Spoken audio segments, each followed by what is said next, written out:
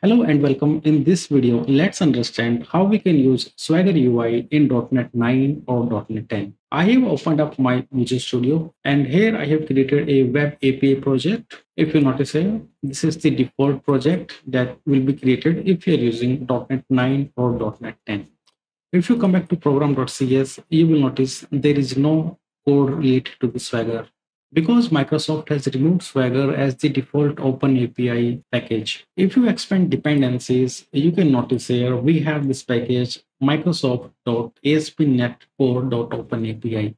And if I run my application, you can see here my application is running at this endpoint. Let's open this and let's go to OpenAPI slash v1.json you can notice we have this open API document here, which is specifying which endpoints are present in my web API project. You can see here we have this weather forecast, and this is the operation that is available in this weather forecast API. And we have the schema details also, like which kind of data we will be getting if we invoke this particular endpoint. So we have this open API document, but we don't have the swagger here.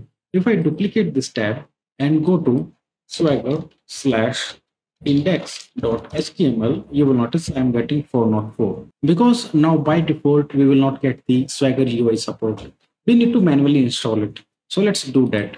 I will right click on my dependencies and first of all, I need to stop my project. And now right click on the dependencies and click on manage NuGet packages go to browse and search for Swagger here. And we need to get this particular package that is Swagger UI. I will click on this and I will click on install and I will click on apply. Now, if you notice the Swagger UI package is also added in my project. Now let's see how we can use this and enable Swagger in our project. Go to program.cs file and here where we are mapping this open API, we need to say app dot use Swagger UI. And we need to specify some option here. So I will say options such that options dot and we need to set the Swagger endpoint. So we need to set this using this particular method, Swagger endpoint method. And this method will take two parameters. First, where we have the open API document and second one is the name of that document. Name of that document, we can give anything. Let's say Open API v1.